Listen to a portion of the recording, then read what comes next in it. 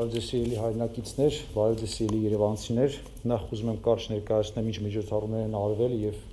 այս պահին էլ արվում են Երևան քաղաքում 2020 թվականի բյուջեից հենց համայնքային միջոցներով մենք մեր բոլոր հիվանդանոցային եւ արտահիվանդանոցային կազմակերպությունները եւ աշխատակիցներին տրամադրել ենք բժշկական նշանակության ապրանքներ, դիմակներ, ձեռնոցներ, արտահակուստ միանվագ խալատներ, ակնոցներ, պաշտպանիչ ակնոցվաններ եւ բնականաբար ձեռքերի ախտանիշ միջոցներ։ Երևանի երկու մասնաշենքերում 12 վարչական շրջանների աշխատակիցներին, ինչպես նաև մեր մանկապարտեզների նախադպրոցական կրթական արտադրությունների աշխատակիցներին նույնպես ձեռք են բերվել այդ բոլոր միջոցները։ Կատարվել են բազմաբնակարան շենքերի բուտքերի եւ վերարակների ախտահանում ամեն օրյա ռեժիմով կատարում է ամբողջ Երևանում գործող տրանսպորտային համակարգում գործող տրանսպորտային միջոցների ախտահանումը եւ Երևան քաղաքը այս ամենը վերցրել է իր վրա անգամ մասնավորների տրանսպորտային միջոցը ախտահանում է մեր կողմից դա արվում է օրվա վերջում եւ արվում է լավագույն ընկերությունների կողմից լիցենզավորված միջոցներով ուզում եմ սոցիալական ոլորտին անդրադառնամ Երևան համայնքի բյուջեից ֆինանսավորվել է 3550 բնայրային փաթեթ, որի շահորներն են հանդիսացել միայնակ անժարակ տարեց թոշակառուներ։ 2020 թվականի հունվար-մայիս ամիսներին ՍԱՏԲ-ների կողմից փաստագրվել են շուրջ 6978 կարիքավոր ընտանիքներ, իսկ միջին հաշվով շուրջ 14131 ընտանիքներ ստացել են ընտանեկան սոցիալական նպաստներ, 588 ընտանիքներ հրատապ օգնություններ։ Շատ մեծ աշխատանք է կատարվել մեր առողջապահական ընկերությունների կողմից, մասնավորապես շտաբ բուժօգնությունը, եւ մեր պոլիկլինիկաներ, ինչպես նաեւ հիվանդանոցները, որոնք գործում են նույնպես Երևան համայնքի ներքո։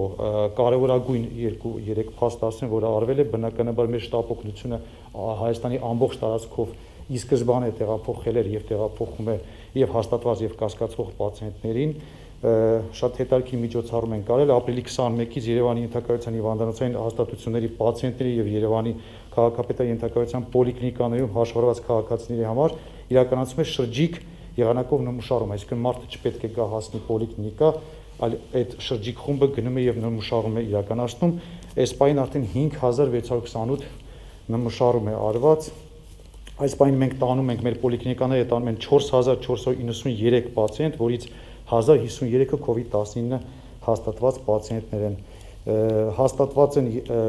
հերթապահություններ, որպեսի միշտ հասանելի լինի մեր պոլիկլինիկաներում եւ հատուկ 3 պոլիկլինիկա կա հերթապահող լավագույն միջոցներով եւ ռենտգեն ապարատներով կարողանում ենք ախտորոշել, եթե թոքերի սկսնակ բորբոքումը կամ կախարկելու աշխատանքներ տանել։ Այսքանը եթե կարճ ասեմ, նաև շատ մեծ աշխատանքներ տարանք մանկապարտեզների հետ կապված, որպեսի ապահովենք մեր երեխաների անվտանգ հա գալը մանկապարտեզներ, բավականին մեծ գումարներ ծախսեցինք, բայց այս պահին մանկապարտեզներ այցելում են մոտ 6-ից 7% երեխաների այն այն քանակից, որը պետք է գան, հա, մեզ մոտ 30500 երեխա պետք է այցելի, այսպես մոտ 1800-1900 երեխա է այցելում, այդ նպատակով միգուցե արդեն քննարկվում է նպատակահարմարությունը հիվանդանոցների բաց պահելու կա տարբերակ, որ ամեն վարչական շրջանում թողնենք մեկ մանկապարտեզ եւ այս պահին այս պահին դա քննարկվում է միգուցե եւ արվի եթե եթե այսքանով ավարտեմ sense թվերից եւ միջոցառումներից խոսել եմ երկու բառ ուզում շատ կարճ խոսել հասիելի հայնակիցների ձեզ հետ այն վարկագծի մասին որը մենք ունենք եւ պետք է ունենանք այս պահին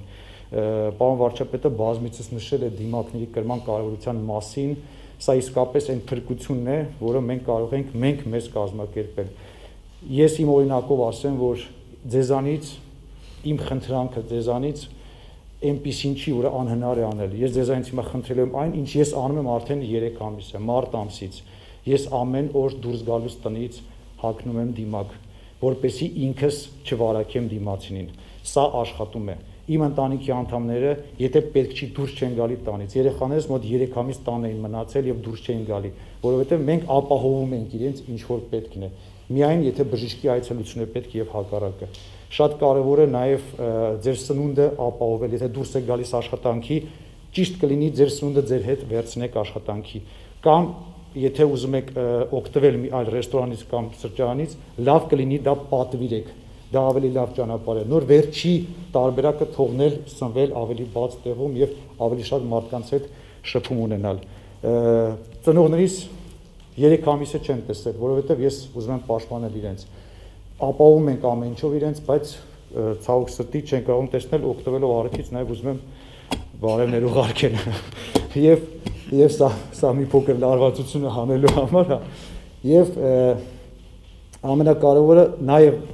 երբ որ դրսից գալիս եք տուն, շորերը առանձին դրեք մի այլ տեղ, որպեսզի դրան հպում չլինի, կպնել չլինի ընտանիքի անդամներից։ Այս པարզ բաները, որը ես ամեն օր անում եմ, իմ ընտանիքի անդամները ամեն օր անում են, այո, ավելի դժվար է։ Այո, հասարակ կյանքից այլ է, ավելի բարդ է, բայց հիմա հասարակ ժամանակաշրջան չի։ Սա պանդեմիա է։ Ամբողջ աշխարհը տարապում է այս ցավով մենք պետք է մի քիչ մեզ նեղություն տանք այս պահին, մենք պետք է մի քիչ ավելի ուշադիր լինենք Իսկ դիմակի կրելը եւս մեկ անգամ ասում եմ, դուք դիմակը կրելով ձեզ չեք պաշտպանում։ Հերոսություն չի դիմակ չկրելը։ Դուք հերոսներ չեք, հակառակը կներեք, եթե դուք վարակակիր եք, դուք չգիտեք դրա մասին եւ դիմակ չեք կրում, հազար ներողություն։ Այդ մարդը հանցագործ է ինձ համար։ Դիմակ չկրելով նա անում է շատ ուղիղ կերպով հանցագործություն է գործում։ Խնդրում եմ ձեզ, ձեր դիմակը պաշտպանում է միայն ձեր դիմացնին, ձեզ չի պաշտպանում, հիշեք սա։ Իսկ դիմացնի դիմակը պաշտպանում է ձեզ միայն երկուսի բոլորի դիմակ կրելով բոլորը կլինեն պաշտպանված։ Շատ շնորհակալ եմ, առողջ եղեք եւ Աստված ձեզ պահապան։